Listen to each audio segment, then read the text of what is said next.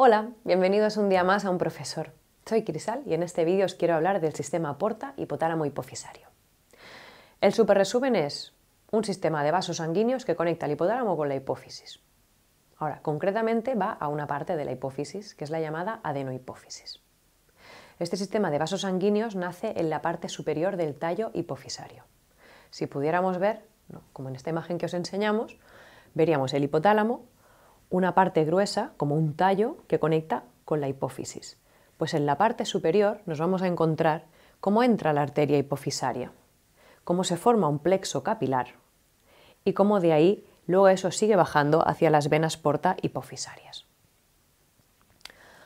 Aquí hay algo que ya no es exclusivo del sistema porta hipotálamo hipofisario, sino que es algo que incluye los sistemas porta.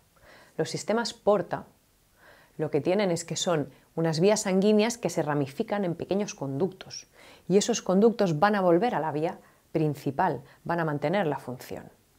Es decir, tienes una arteria que se divide en arteriolas, conecta con capilares, pero eso luego regresa a la vía principal.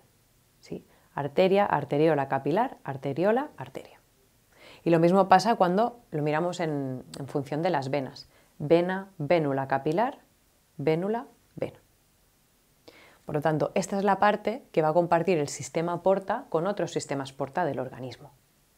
Pero la parte interesante de este tipo concreto de sistema porta es que es crítica para el control endocrino, porque la hipófisis necesita recibir estas sustancias que fabrica, estas hormonas que fabrica el hipotálamo para poder regular funciones a nivel periférico.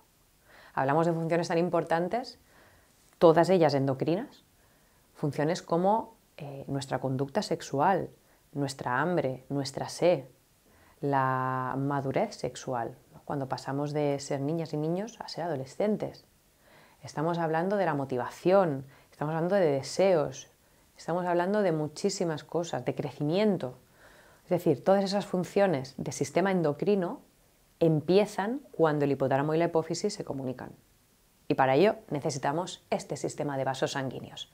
Por lo tanto, sistema circulatorio en este caso se da de la mano con sistema endocrino para favorecer que nos podamos adaptar de manera eficaz a nuestro medio y a nuestra situación concreta temporal. Bien, te invito a que veas el otro sistema porta, que no tiene nada que ver con el sistema endocrino en sí, el sistema porta hepático. Nos vemos en el siguiente vídeo. ¡Feliz estudio!